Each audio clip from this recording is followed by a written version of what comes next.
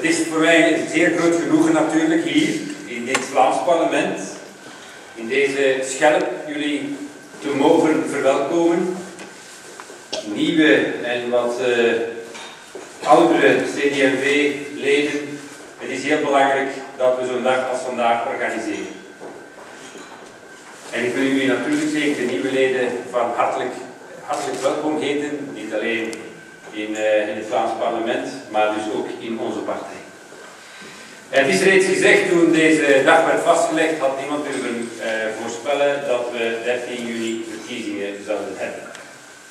Maar onze partij is eraan gehouden, ook al steekt er wat storm op, wij blijven rustig, wij hebben de zaak onder controle en wij gaan door ook met uh, deze, deze dag waar jullie ook naar uitgekeken hebben. En ik wil van de gelegenheid gebruik maken om een aantal dingen even samen met jullie te bespreken. Ten eerste, dat is uh, nieuw, dat is echt een hype dat men zegt, ja maar, je moet eigenlijk niet gaan stemmen. Je moet eigenlijk thuis blijven. 13 juni moet je een signaal geven. Je moet uh, uw stem laten horen door niet te gaan stemmen. Ik moet eerlijk zeggen, beste collega's, dat is toch wel straf. Want de, de verkiezingen van 13 juni zullen heel, heel belangrijke verkiezingen zijn. En dan uh, Facebook en andere groepen die zich lanceren om te zeggen, nu is het moment om niet te gaan stemmen. Ik kan dat heel, heel moeilijk begrijpen. Want het is toch logisch dat hoe moeilijker de tijden, hoe moeilijker de situatie is, hoe nadrukkelijker de noodzaak dat wij ons uitspreken. Dat het volk zich uitspreekt. Hoe meer nood aan een duidelijke boodschap. Wanneer uh, men eigenlijk niet goed weet waar men met dit land naartoe wil. Wanneer men niet goed weet welke lijnen men moet volgen.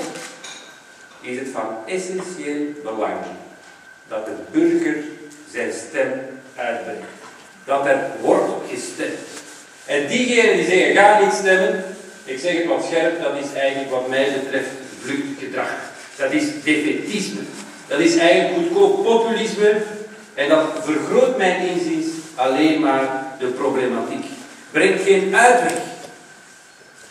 En ik ga ervan uit dat iedereen nog eens goed nadenkt, zeker voor diegene, en dat is nu een hype in de media, de, de, de pers springt daarop eh, op in om te zeggen, uh, ja, zouden we dat wel doen.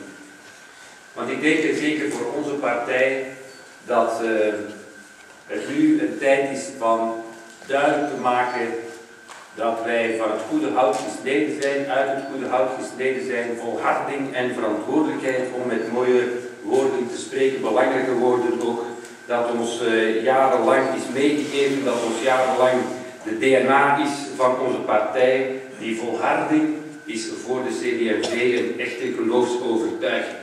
Niet weglopen van de problemen, maar blijven staan wanneer het moeilijk is. Blijven zitten aan de tafel, blijven praten, zolang wij erin geloven. En ik denk dat dat de belangrijke boodschap is die wij als partij moeten uitdragen op 13 eh, eh, juni en daarvoor iedereen te overtuigen, niet alleen om te gaan stemmen, maar dan ook voor de juiste partij te stemmen. Het is natuurlijk ook zo, collega's, dat u bent hier de gast in het Vlaams parlement.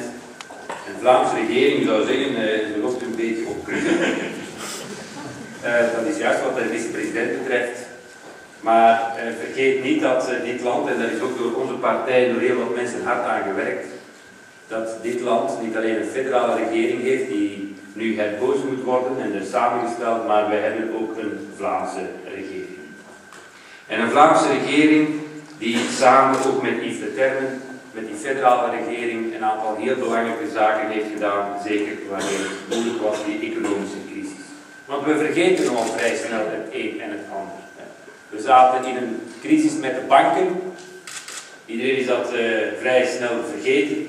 We zijn daar doorgekomen. Die economische crisis, waar, uh, waar we nog niet volledig uit zijn. Vlaanderen 202.000 werklozen. Dat is een groot aantal. Uh, ook het bedrijfsleven, het aantal faillissementen is uh, nog altijd te hoog, maar we hebben daar hard aan gewerkt en we zullen dat blijven doen.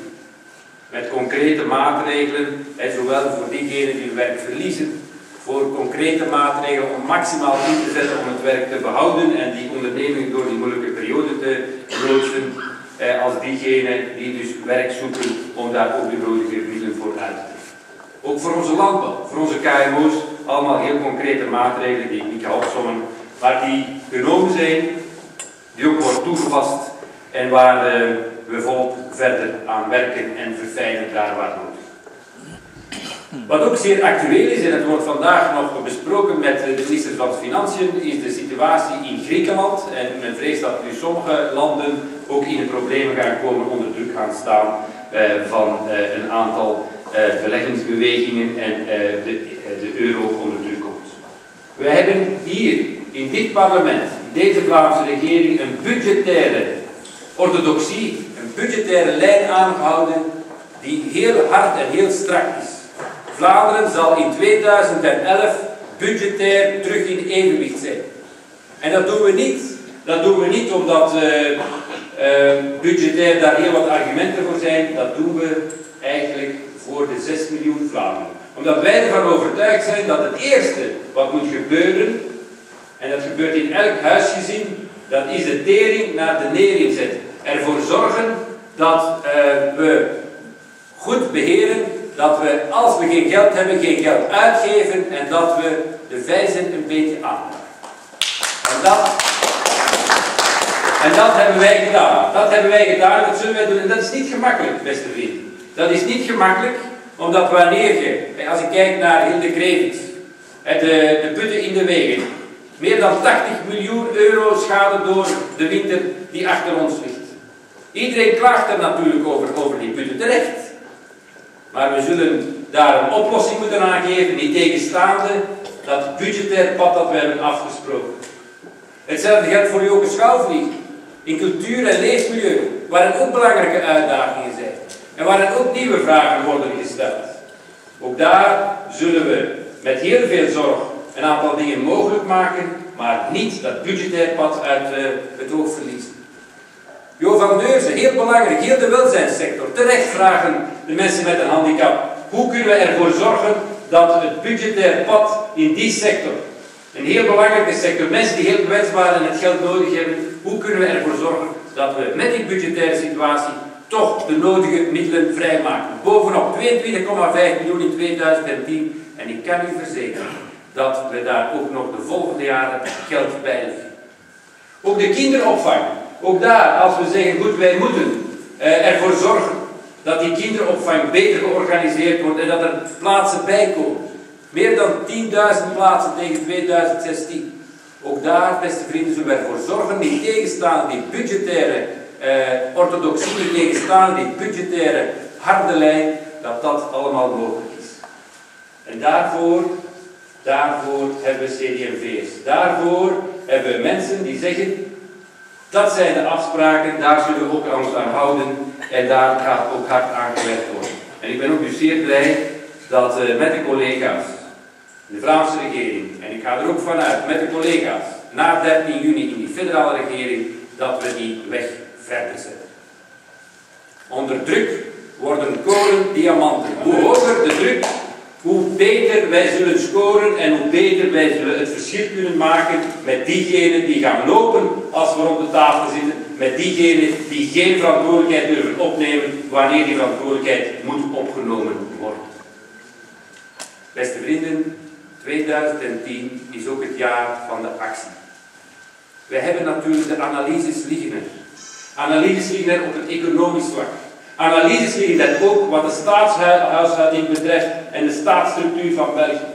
Er is al ge genoeg gepalaverd, er is al genoeg geanalyseerd. Het moet nu omgezet worden in actie. Wij weten welke keuzes wij moeten maken in zaken onze samenleving. Het plan Vlaanderen in actie 2020, het pact 2020 ligt op tafel. Duidelijk opteren voor een warme samenleving, waar mensen het opnemen voor elkaar en waar de solidariteit zeer duidelijk